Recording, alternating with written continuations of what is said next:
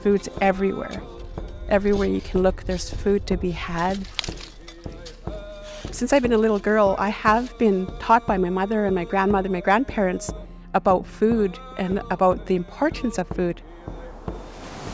It keeps us going, it keeps the stories going.